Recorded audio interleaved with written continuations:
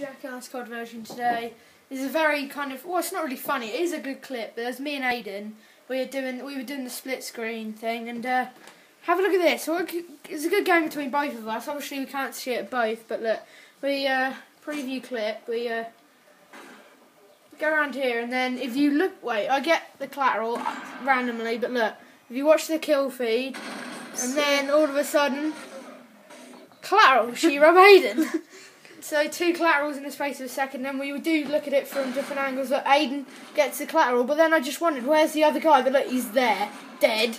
oh my god! And then if you look here, look, there's a.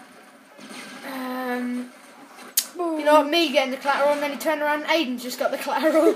so, um, yeah, pretty good, and uh, thank you, and uh, goodbye.